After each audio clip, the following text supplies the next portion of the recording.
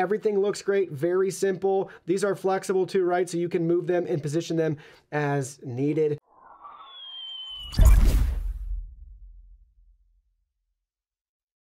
Hey everyone, Digital David here. Today I'm going to be checking out the Be Quiet Pure Loop CPU cooler.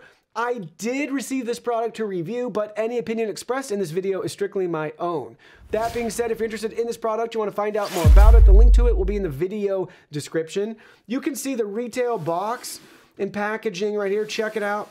Everything looks great. They walk us through some of the key features and tech specs. So with this particular cooler, this features the PureWings 2 fans that are very durable and quiet. We also have the 280 millimeter version. This is available in multiple sizes. And lastly, you may notice on our cooling block right here, we actually have white LEDs to illuminate it, which is really neat. Now let's go ahead, let's open it up and look at the contents. Here are all the contents. First up, you can see we have a product literature with our disclaimers, and we have our user guide and manual for the 120, 240, 280, and 360 millimeter versions with QR codes as well for more product information and they walk you through everything you need to know about installing this, whether using AMD or Intel for your CPU.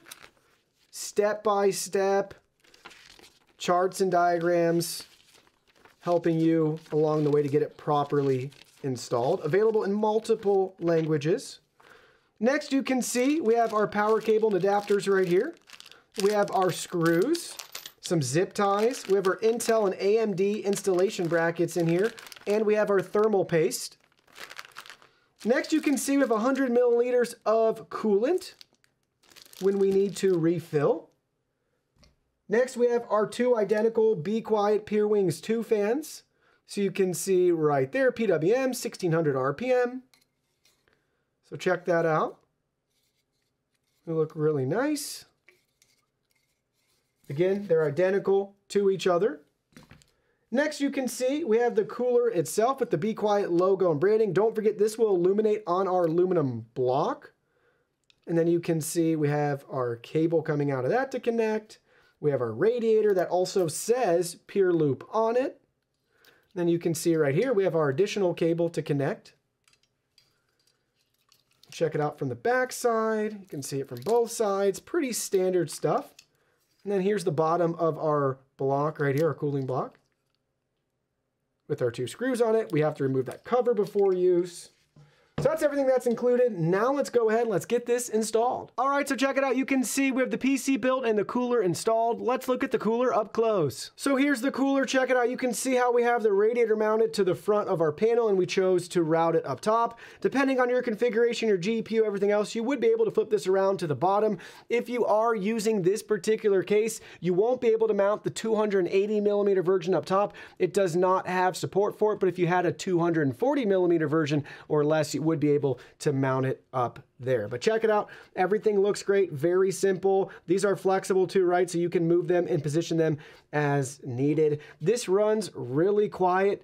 You'll be hard pressed to hear any trickling water, maybe upon initial startup or depending on how you have it configured with your radiator and pump and which is higher, that sort of thing.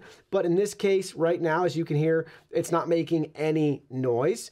And again, it looks really, really nice. I love the light, how bright it is. It looks really sharp, especially matching the white case light that we have with our particular build. Everything's really minimal and clean, and I really like how this looks. Now let's go ahead, let's see how it performs. So check it out, you can see with the PC powered on at idle, and these are the real-time results that you're seeing of our CPU temps with our Pure Loop cooler. So keep in mind, depending on your build, the CPU you're using, the case you're using, additional fans, that sort of thing, your results will vary, but at idle for our particular build, you can see we're hovering around 24 degrees Celsius or a little bit lower. Now let's go ahead, let's put this under 100% load, let it run and see how hot it gets. All right, so check it out. Now you can see the CPU's at 100% load. It's been running for a couple of minutes that way, and I haven't seen the temperature crest above 67 degrees Celsius. So you can see right here, typically under 100% load for the test that we're running,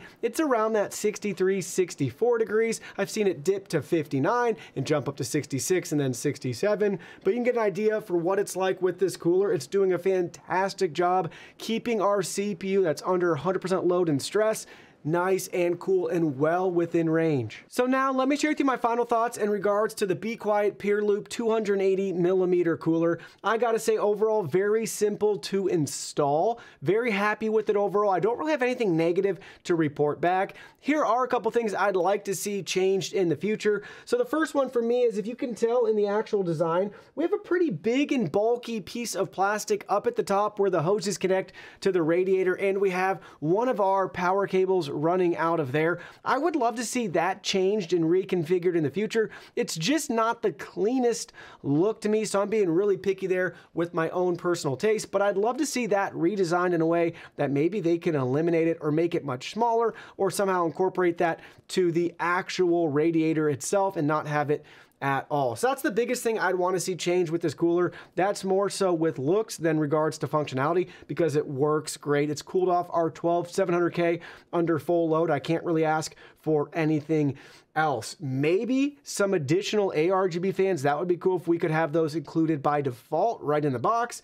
And maybe some more lights. I don't know. Maybe they could light the loops to the radiator. Maybe they could light the radiator. That'd be fun if they could continue to incorporate creative ways to add more RGB. I would be a big fan of that. But overall, simple cooler that works to keep your CPU nice and cool. Well, that concludes our video. Thank you so much for watching. Don't forget the product link will be in our video description below. Please go ahead, check it out, and do your shopping from there. Any purchase made through that link helps support our channel at no additional cost to you. So we're really grateful and thankful for all of your support. While you're at it, can you go ahead and hit that like button for us? And subscribe to our channel. We have new content coming out daily and we don't want you to miss anything. Please go ahead and give us a follow online and make it a clean sweep. Facebook, Twitter, Instagram, Twitch, TikTok, Discord. You can message us on WeChat, check out our website, and join our free newsletter. Thank you guys so much for being here. Don't forget new content daily, and we can't wait to see you in our next video.